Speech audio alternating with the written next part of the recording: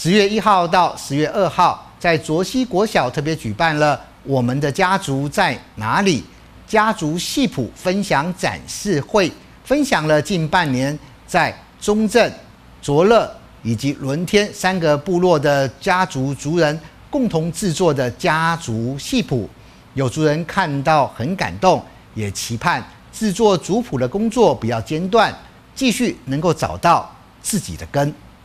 墙壁上密密麻麻的文字，仔细一看都是姓名。原来这是卓西乡中正、纳纳比玛、卓乐、伊斯塔西巴、伦天、丙吉乱三大家族的家族系谱，由花莲县文化局委托国立台东大学南岛文化中心所办理的花莲县布农日志户籍资料族的整理跟研究计划。十月一二号办理族谱分享展示会。就呃，我还是老师，我们就会开始解读这些资料啊，然后解读完资料之后，我们就画成那个手绘的细谱，好，那也会把它数位化，把它文字化，好，然后去校对这些文字。然后与此同时，我们的助理还有我们老师也会去访谈各个家族，然后跟他们确认。通常在确认族谱的时候，长辈都会分享故事，那我们就一并把它记录下来。来参加展示会的族人看着自己的名字就在族谱上面，表示感动，也很荣幸自己可以参与这项计划，期盼计划能够持续下去。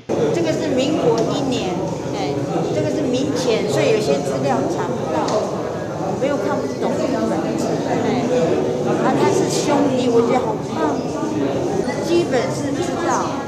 只是说资料没有办法得到，我是希望说。文化局，尤其是联民会跟县政府的，能补助我们这些经费来去做这个调查，会比较好，会更完整。我觉得对于年轻人来说，呃，我觉得不只是认识过去的迁徙或是我们之间的关系是什么，而是重要的是我们要知道是我们在这个家族里面扮演的角色，或是我们对于。上下的角色是什么？我觉得，我觉得还是要继续邀请各家族的年轻人可以继续参与这件这件事情，因为未来我们还是，我们也会老，我们还是会有下一代，但是谁要继续延续这件事情很重要。这项计划是从二零二一年九月份开始进行，与三大家族的年轻人共同来做，并也取得每一位族人同意，才将这项手绘版的族谱展示出来。文化局表示，户籍中的日治实习也是计划的重要核心。了解这批日治时代的历史，学习理解族人的文化智慧、亲属关系以及社会道德与社会道德规范。记者高双双卓西乡采访报道。